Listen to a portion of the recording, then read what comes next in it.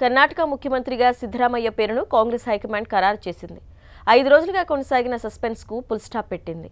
అంతా ఊహించినట్లుగానే కర్ణాటక ముఖ్యమంత్రిగా సిద్ధరామయ్యను ఎంపిక చేసింది.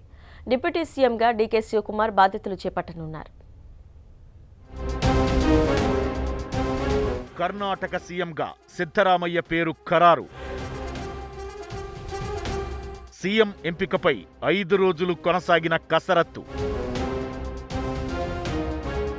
డిప్యూటీ సీఎంగా డీకే శివకుమార్కు అవకాశం. ఈ నెల ఇరవైన సీఎంగా సిద్ధరామయ్య ప్రమాణ స్వీకారం.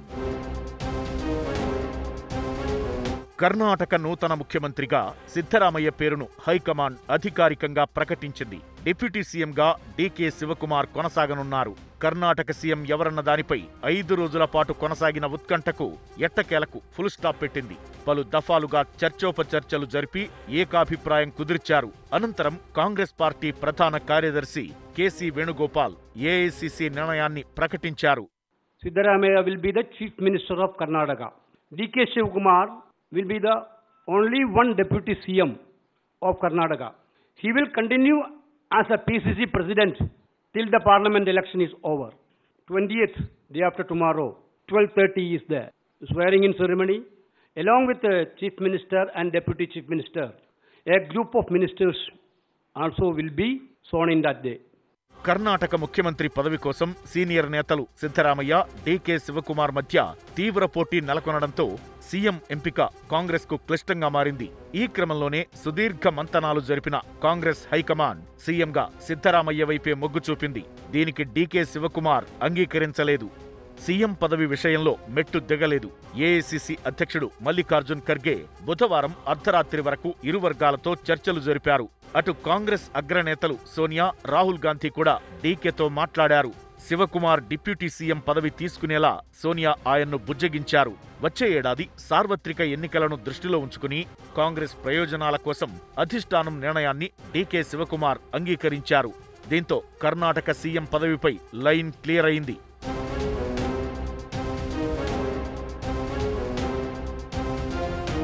సాధారణ రైతు కుటుంబంలో పుట్టిన సిద్ధరామయ్య స్వయం కృషితో రాజకీయాల్లో ఎదిగారు. మైసూరులో పంతొమ్మిది వందల నలభై ఎనిమిది ఆగస్టు పన్నెండున జన్మించిన సిద్ధరామయ్య వయస్సు డెబ్బై ఐదేళ్ళు ఉన్నత చదువులు అభ్యసించిన సిద్ధరామయ్య న్యాయవాదిగా పనిచేశారు. రైతు ఉద్యమాల్లో పాల్గొన్నారు. రెండు వేల పదమూడు మే పదిహేడు నుంచి రెండు వేల పద్దెనిమిది మే వరకు ఐదేళ్ళ పాటు పూర్తికాలం ముఖ్యమంత్రి పదవిలో ఉన్నారు. కర్ణాటక వ్యాప్తంగా మోస్ట్ పాపులర్ నేతగా సిద్ధు అలియా సిద్ధరామయ్య గుర్తింపు పొందారు. రెండు వేల పద్దెనిమిదితో పాటు తాజా ఎన్నికల్లో ఆయన వరుణ నియోజకవర్గం నుంచి పోటీ చేసి విజయం సాధించారు.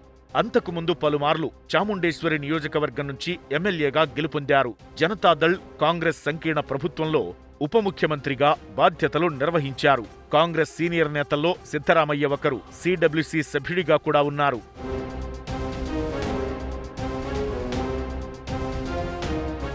సిద్ధరామయ్యకు కాంగ్రెస్ పార్టీలో మంచి పట్టుంది. కర్ణాటకలో మూడో అతిపెద్ద సామాజిక వర్గమైన కురుబకు చెందిన నేత బీసీ దళిత మైనారిటీల ఓట్లను కాంగ్రెస్ వైపు మళ్ళించడంలో కీలక పాత్ర పోషించారు. ఇదే ఫార్ములా రెండు వేల పదమూడు ఎన్నికల్లో కాంగ్రెస్ గెలిచిన తరువాత ఆయన్ను ముఖ్యమంత్రి పదవి సునాయాసంగా వరించింది. ఐదేళ్ళ పూర్తికాలం పదవిలో ఉన్నారు. ముఖ్యమంత్రిగా ఎక్కువసార్లు బడ్జెట్ ప్రవేశపెట్టిన ఆర్థిక మంత్రిగా సిద్ధరామయ్యకు కర్ణాటక వ్యాప్తంగా మంచి గుర్తింపు ఉంది. ప్రతిపక్ష నేతగా బీజేపీ ప్రభుత్వ అవినీతిని ప్రజల్లోకి తీసుకెళ్ళడానికి సిద్ధరామయ్య ఎన్నో ప్రయత్నాలు చేశారు. అలాగే గ్రామీణ ప్రాంతాల్లో క్యాడర్ చెదిరిపోకుండా చూసుకున్నారు. కాంగ్రెస్ గెలుపు కోసం శక్తి వంచన లేకుండా శ్రమించారు. రెండు వేల పదమూడు నుంచి రెండు వేల పద్దెనిమిది దాకా ముఖ్యమంత్రిగా కాంగ్రెస్కు కేరాఫ్గా ఉన్న సిద్ధరామయ్య రెండు వేల పద్దెనిమిది ఎన్నికల్లో ఓటమి తరువాత మాత్రం డీలా పడ్డారు. ఆ సమయంలోనే శివకుమార్ వేగంగా ఎదిగారు. పిసిసి అధ్యక్ష బాధ్యతలు చేపట్టి పార్టీని పునర్నిర్మించారు.